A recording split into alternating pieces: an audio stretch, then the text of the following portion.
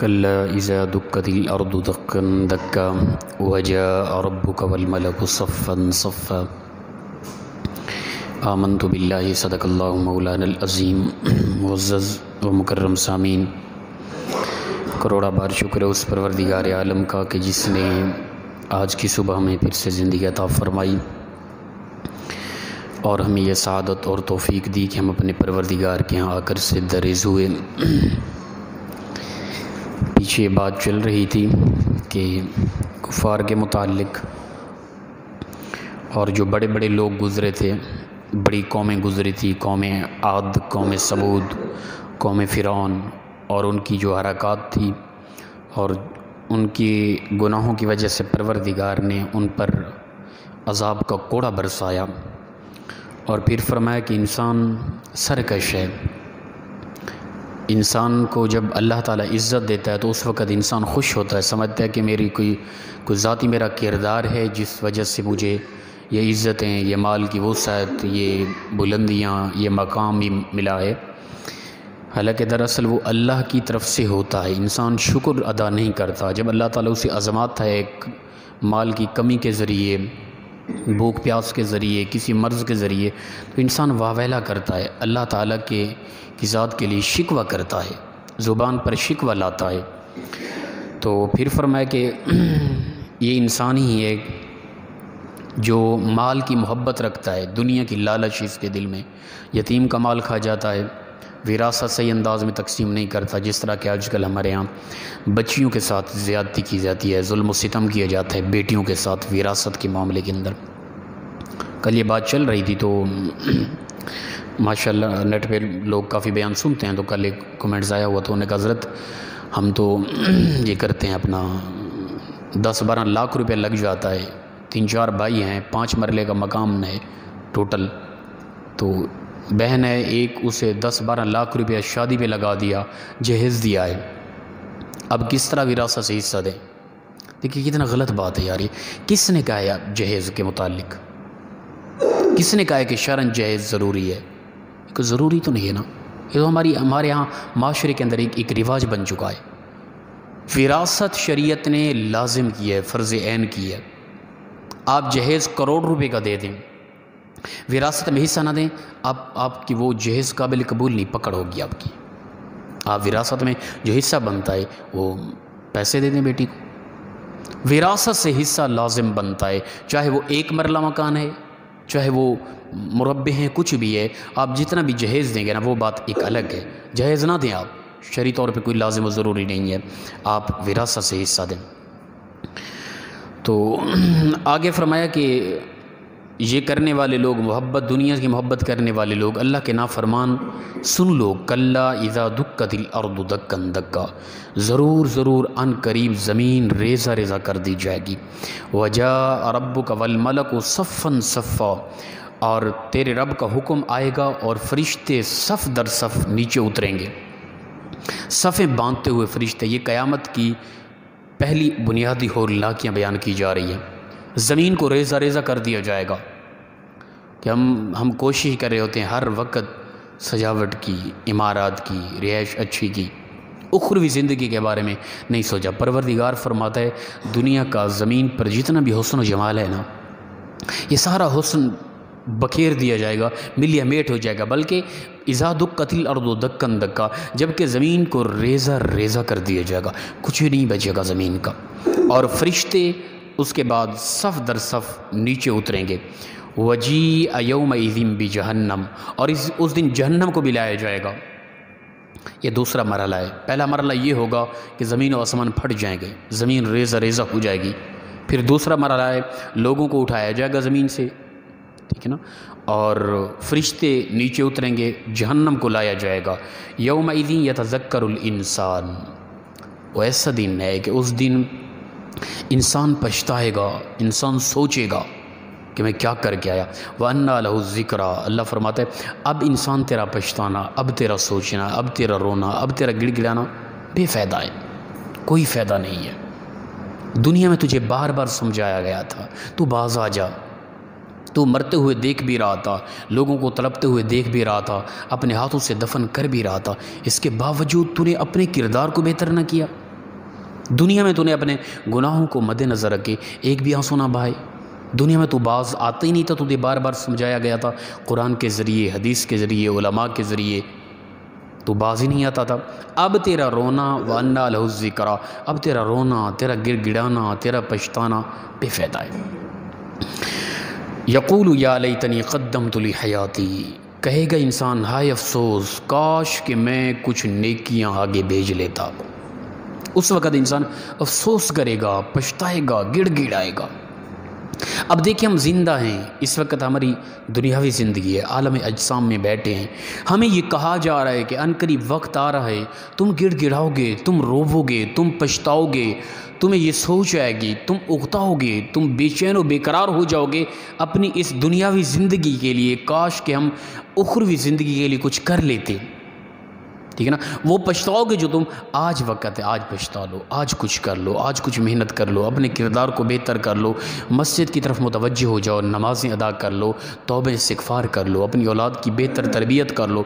माँ बाप को प्यार दो, करीबी हमसायों के हकूक़ अदा करो, बीवी के हकूक़ अदा करो। ये चीज़ें परवर दिगार अब समझा रहे हैं, हम ज़िंदा हैं, हमारी साँसें चल रही है। अन करीब ये ज़िंदगी की का सूरज गुरूब होने वाला है, फिर इंसान से ये आलम अपना इस दुनिया जहान की जो मामला थे ये छीन लिए जाने फिर इंसान का कोई अमल काबिल कबूल नहीं होगा।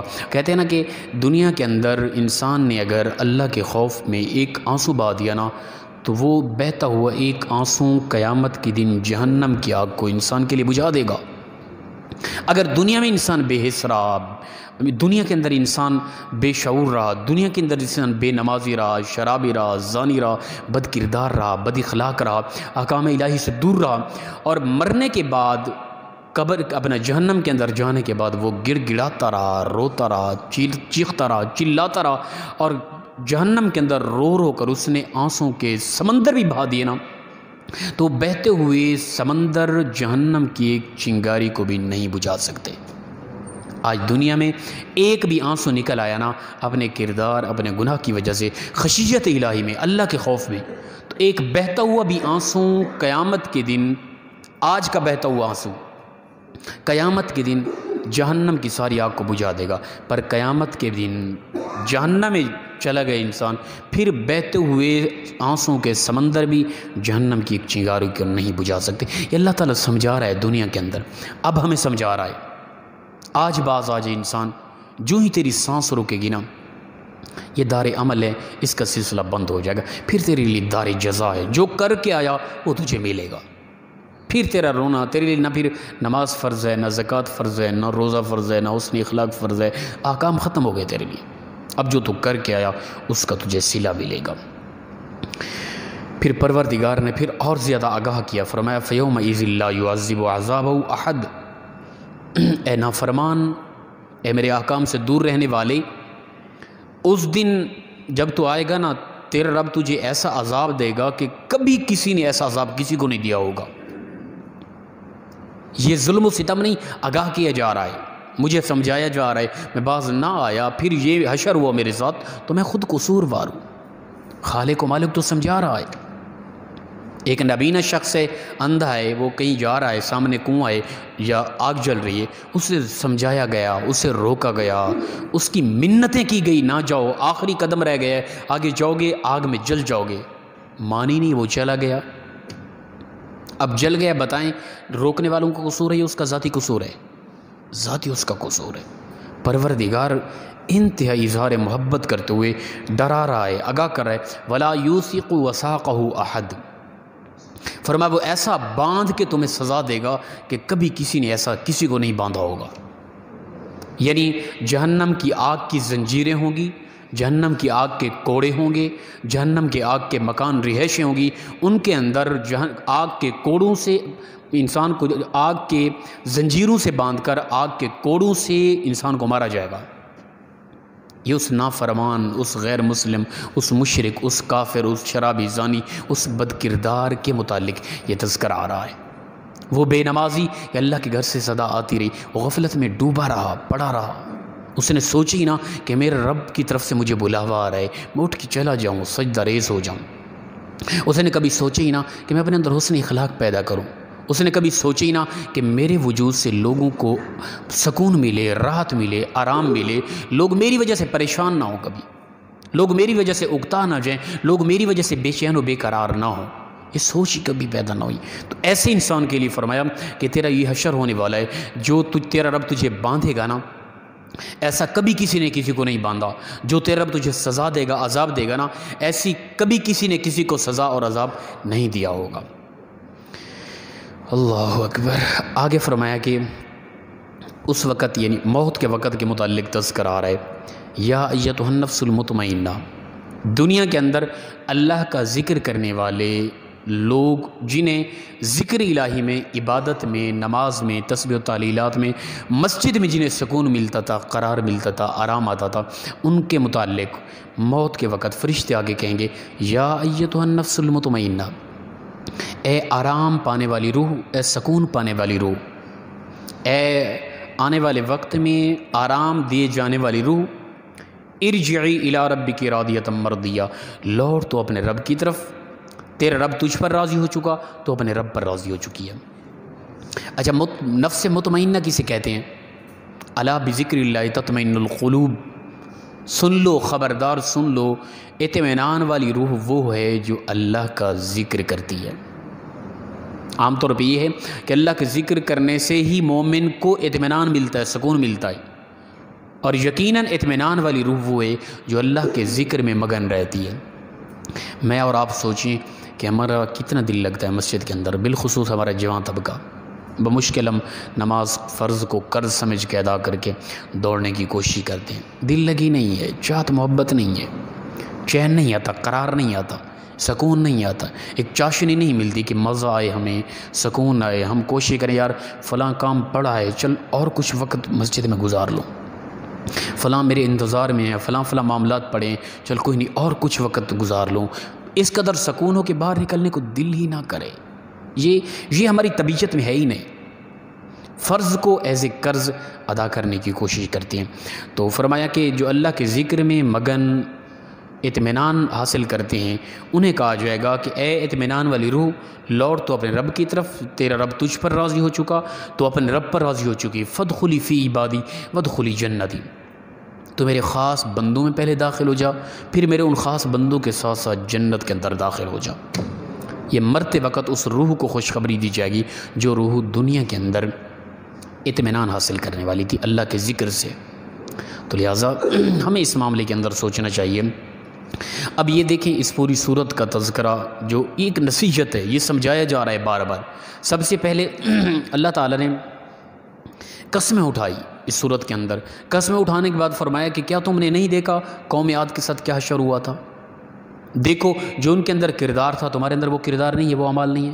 पाए जा रहे इसी तरह देखो क्या कौम समूद के साथ जो हशर हुआ था, वो तुम्हारे सामने नहीं है।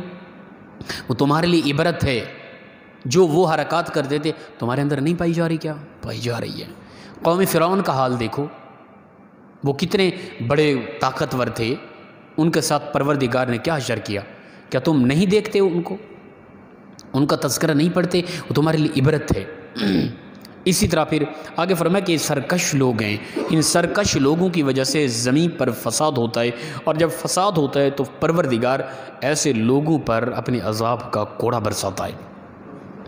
वो बीमारियों की सूरत में होता है, वो कासालियों की सूरत में होता है, वो लड़ाई झगड़ों की सूरत में होता है, वो किसी मर्ज़ के आ जाने की सूरत में मुख्तलिफ़ सूरतें होती हैं अल्लाह के अजाब की। तो लिहाजा आज हम उसूलन देखें ना तो अल्लाह के कई अजाबों में हम गिरफ़्तार हैं इस वक्त। जीना मुश्किल हो चुका है। वो एक अलग बात है कि हमारे दिल पत्थरों से ज़्यादा सख्त है, हमें समझ नहीं आती, हम महसूस नहीं करते। अल्लाह अकबर। फिर आगे फरमाया कि तुम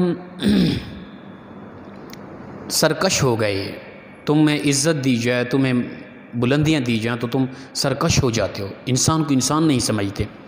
और तुम यतीम का माल खा जाते हो, दुनिया की मोहब्बत रखते हो, विरासत का माल खा जाते हो, फिर सुन लो कि अन करीब ज़मीन रेजा रेजा कर दी जाएगी, फरिश्त आसमान फट जाएँगे, फरिश्ते नीचे उतरेंगे, जहन्नम को नीचे लाया जाएगा, उस वक़्त इंसान पछताएगा हाय अफसोस कि मैं नेकियाँ कर लेता, कुछ आके नेकियाँ भेज लेता। ये मुकम्मल नसीहत है। हम ज़िंदा हैं, हमारी सांस चल रही है। आज हमारे पास वक्त है, अगर हम संभल गए, हमने अपने किरदार को ठीक कर लिया तो हमारी दुनियावी ज़िंदगी भी सुकून में हो जाएगी उखरवी ज़िंदगी में भी अल्लाह ताला हमें इज़्ज़त अता फ़रमाएगा। दुआ है परवरदिगार। मुखलसन अंदाज में हम सबको अमल की तोफ़ी कता फ़रमाई वाखिर दावाना अनिलहमदिल्ला असल